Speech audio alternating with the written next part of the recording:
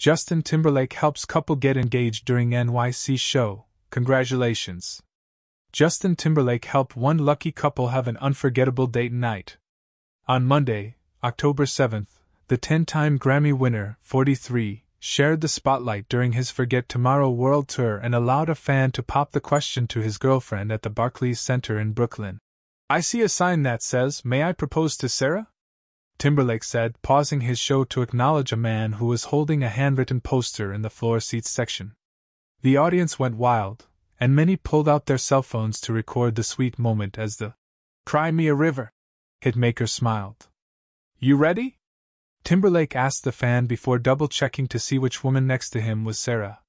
He then handed his microphone to the fan, adding brief words of encouragement. You got it. The crowd continued to cheer the couple on as the guest composed himself before popping the question. I love you, you're my best friend. Will you marry me? he asked. Sarah's yes was visible thanks to the arena's screens, and the audience screamed out in support of the newly engaged couple. Sarah leapt into her fiance's arms and after an emotional hug, he placed the ring on her finger. While passing the microphone back to Timberlake, the fan also thanked the singer for helping him with his once in a lifetime proposal. Make some noise for Donald and Sarah! The selfish singer yelled out, before turning to the couple to personally congratulate them. I can't top that. All right, thank you. Have a good night, everyone. Timberlake joked before the crowd cheered for more music. Donald and Sarah aren't the only ones to have their love celebrated during Timberlake's tour. On October 4th, the No Angels singer used his Montreal show to let his fans know that it was a very special evening for him. My wife is here tonight.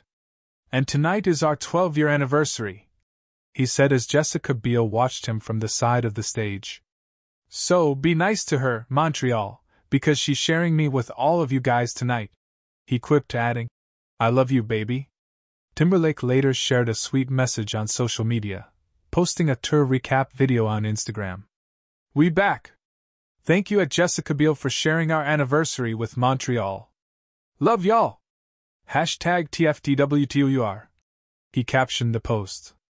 Biel, 42, and Timberlake said their. I do's.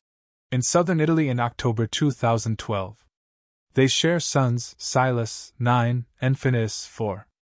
Timberlake's next show is at the Prudential Center in Newark, New Jersey on Tuesday, October 8th, before making stops in Toronto, Chicago, New Orleans, and more through the remainder of the year. Most of Timberlake's tour includes international dates in 2025, with his last